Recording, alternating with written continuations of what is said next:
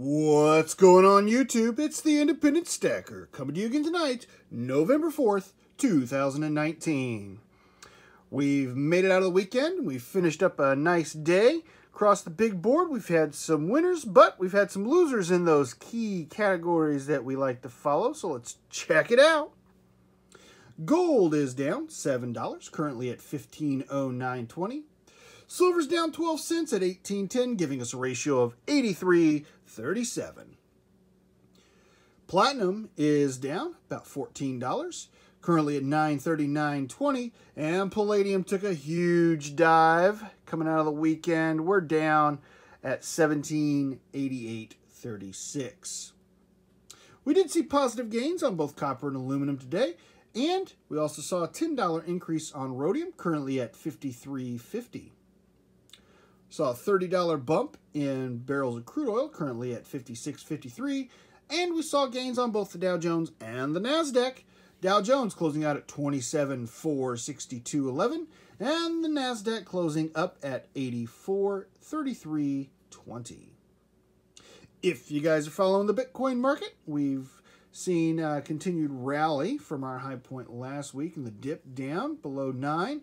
Currently at 93, 85, 18. Tonight's big stacker shout out goes to Mountain Wolf 33. I'm sorry, Mountain Wolf 333. Mountain Wolf 333 is a newer channel, been around uh, my comment section for the last couple weeks, and sir, I do greatly appreciate that.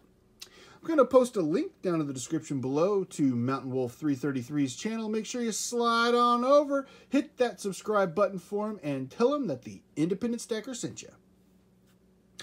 In tonight's video, we're adding a new refinery bar that I don't have yet to my stack.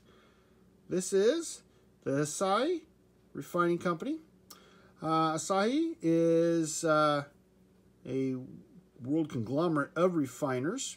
Uh, if you don't know about them, they are from Japan, is where they're actually based. Uh, but they do have uh, refining operations all around the world. Um, we have one here in the United States, and they also have one in Canada. I don't know which refinery this actually came from. Uh, but I suspect uh, if you did a little bit of deep searching, you could probably punch in uh, the serial number somewhere and it would tell you where that uh, where this bar came from. So guys, let me know down in the comments. How do you guys collect your silver bars? Do you guys just merely stack for the weight? Uh, or are you guys on a mission to get different art bars or like me collect as many different refineries as possible. I personally like to go after refineries the different refineries that i don't have.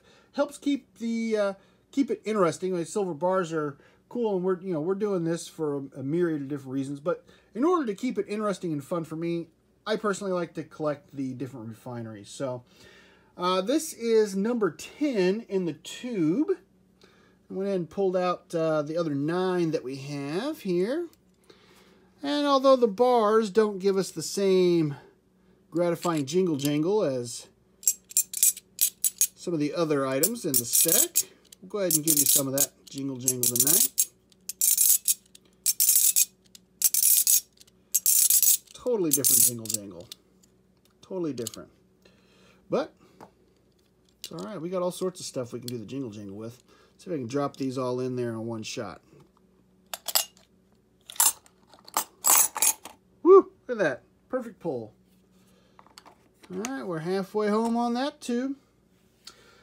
Guys, I just want to let you know that if you were a winner in the 100 episode giveaway that we had last weekend, not this one we just wrapped up, but the one before that, I did mail out all the prizes today with the exception of just a few. Uh, I had not received uh, mailing addresses from a few of you. Let's review who those were. Uh, Michael M. had won a dime, 1964 dime. The Step Stacker also has an unclaimed dime. His is from 1946. He does have a special surprise as well that I'm wanting to ship him, but uh, I don't have his address. And uh, PDX Brewer. PDX Brewer, you got to send me your address. I got a Barry Larkin 1987 gum stained Topps card here for you with your name on it and a 1964 quarter. So, you guys, uh, PDX Brewer, Step Stacker, Michael M., if you could, please do email me at indieguy711 at gmail.com. Post that right there. Send me that address, and I will make sure that those get sent out to you directly. Uh, one other person that I've been talking with that uh, was actually a winner uh, is Precious Metals Updates, and I'm sure we all know and appreciate Precious Metals Updates channel.